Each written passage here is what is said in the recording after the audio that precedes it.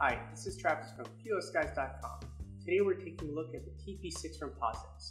This is the successor for the TP4, uh, the new flagship for their all-in-one computers for point of sale.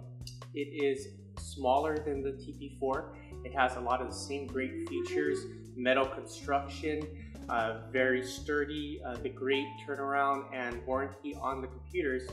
Um, and it does all that with flexibility of different processors, different hard drives, different memory configurations.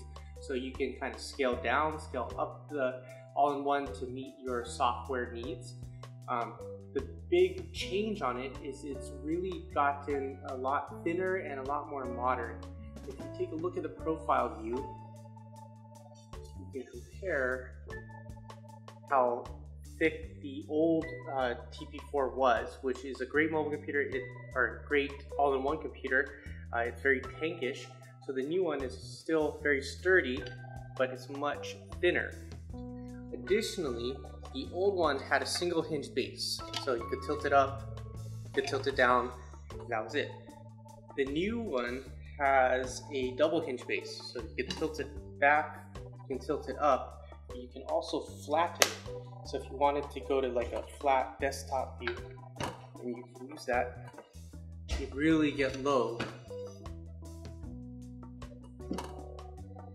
And so you can hide the uh, all-in-one computer down into the counter. The second big upgrade with the new base is it also gives you the ability to do a wall mount or a VESA mount without having to buy a separate bracket so you can take it uh, and then there's mounting holes on the bottom, the normal VESA spots. So you can wall mount it without having to get a bracket. If you want to get it even more flush than this, they do make a dedicated wall mount bracket, but uh, the default base can convert into a wall mount pretty easily. It's also kind of nice that if you did mount it like this, you have the ability to sort of angle it, kind of like a big screen TV if you wall mounted that with one of those double hinge brackets.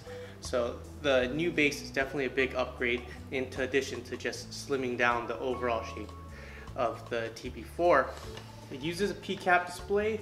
It's very uh, bright, it's very vibrant, uh, very receptive to it. Uh, it can do multi-touch if your software allows gesturing, so if you can enlarge a screen by like using three fingers or two fingers, um, or swiping left and right. So it does multi-touch, which is which is nice feature for point of sale if your software supports it. Not all software supports multifunction.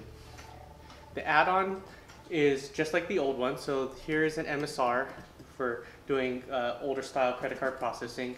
Um, and it can snap just in and out and then there's screws that tighten it down so you can field upgrade to an MSR or if you want to do a biometric reader you could do that as well. The customer displays mount to the back of it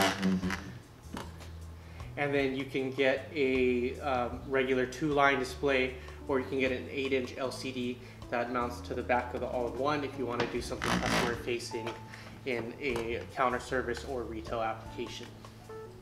The standard ports available, you have your VGA port if you're going to add an 8-inch display uh, or just a completely separate monitor. We often have a separate 15-inch LCD monitor that people use as a media display for their point of sale. And then you have three COM ports right here sandwiched between the two banks of USB ports here. So the way that the serial ports work is that you have this extension cable. So the extension cable is long enough that you can run it under the counter. So it just has this long cord here. So you can run it under the counter. And then on the end here, it looks sort of like an ethernet port. And that just plugs straight in any one of the three serial ports there. And then you have 9-pin serial if you're going to be adding a scale or some kind of dedicated serial device. Your uh, Ethernet port is right there if you're going to be doing standard uh, internet. And then you have two more USB ports there. And then your cash port is at the end. If you don't have a printer and you need to open a cash drawer, uh, then that's the cash port right there.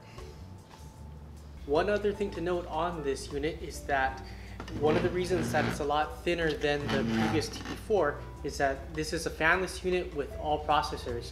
There is, of course, the low power J1900 processor, uh, but even the i3s, the i5 processors don't have a fan. So it runs very quietly as well if you have a, um, a very quiet environment and you don't want the sound of a fan to kind of interrupt the atmosphere of it. For more information on the TP6 or to purchase, please visit us at posguys.com. Thanks.